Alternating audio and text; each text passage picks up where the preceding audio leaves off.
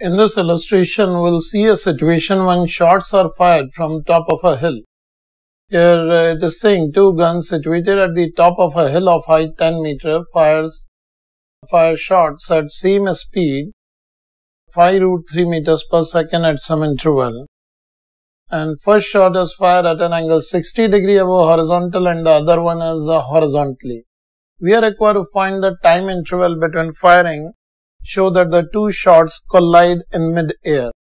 Here, if we draw the situation, here, uh, say if this is a hill, and the height of hill is 10 meter above the ground from where two shots are fired. One is in horizontal direction and one is at an angle 60 degree with respect to horizontal. Say this is 1 and this 2 then it will follow a horizontal projectile and the other one will follow again a parabolic trajectory and say this is the point P where the two shots uh, may collide. Obviously here we can see 2 will take lesser time in reaching point P and 1 will take longer time.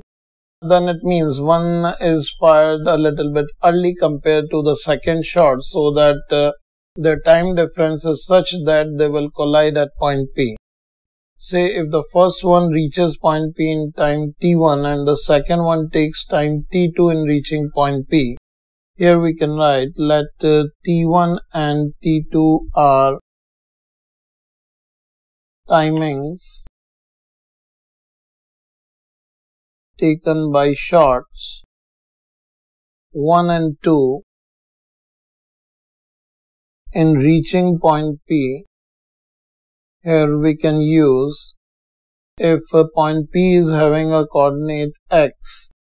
and y with respect to the projection point then we can write x is equals to for uh, shot 2 we can write it will take a time t2 so the distance traveled can be written as ut2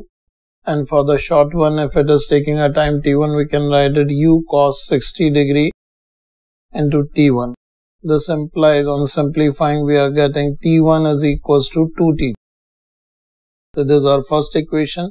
and for uh, the distance y traveled by 1 and 2 here we can write uh, y is equals to for uh, this short 1 we can write it as uh, this is in negative side we can write minus y is equals to u sine 60 degree into t1 minus half g t1 square. The same can be written as minus half g t2 square because the second shot is not having any initial speed so it will fall in time t is half g t2 square. Here uh, to calculate the value of t2 we substitute t1 is equals to 2 t2 over here see what we are getting this is minus half g t2 square is equals to u and sine 60 is root 3 by 2 and t1 we can substitute as 2t2 minus half g multiplied by 2t2 square. So further we if we simplify this here you can see 1 t2 gets cancelled out.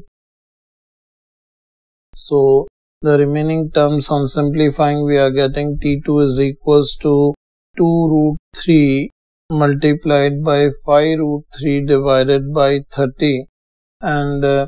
that is equals to 1 second. So the value of t2 we are getting here is 1 second. That means the value of t1 is equals to 2 second. So if we calculate the time interval between firing of shots, this can be given as delta t is equals to t2 minus t1 that is equals to 2 minus 1 that is 1 second that is the final result of this problem.